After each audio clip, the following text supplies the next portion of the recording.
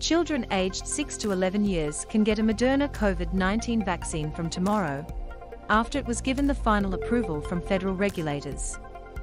Key points Moderna is now the second COVID vaccine available for kids.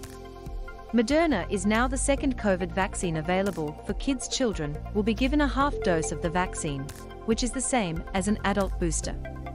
Children will be given a half dose of the vaccine, which is the same as an adult booster. The two doses are recommended eight weeks apart.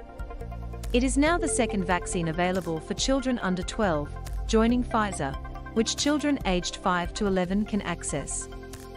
The National Vaccine Panel, ATAGI, gave its final approval after the Therapeutic Goods Administration, TGA, approved the vaccine earlier this month. Health Minister Greg Hunt said children could get a Moderna jab from tomorrow, but it would depend on whether individual GPs or pharmacies had enough stock.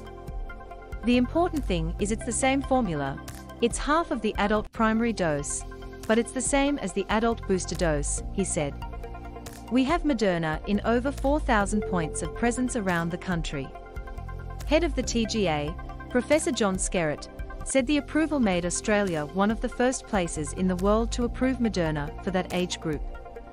Healthy children can have two doses eight weeks apart, he said. But for children who need to travel or who are immunocompromised, they can have it as soon as three weeks apart. Professor Skerritt said given it was the same dosage used for adult boosters, it would hopefully mean it was convenient for pharmacies, GPs, and vaccination clinics. There's a convenience factor in that the pharmacies or GPs can use exactly the same vial for Moderna, for the children for the boosters and for the adults, he said. It does bring an extra 1,600 sites, some GPs, and a lot of pharmacies who are set up to do Moderna, but not Pfizer.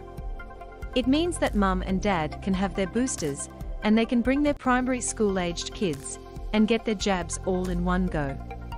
Vaccines for under 5s put on ice TGA. The TGA is also not expecting progress on approvals for COVID 19 vaccinations for children aged under 5 until later this year.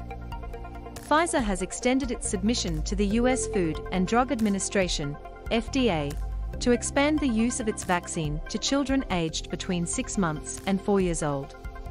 The pharmaceutical company wants to examine data on the use of different doses to see whether the change provides a higher level of protection within the age group.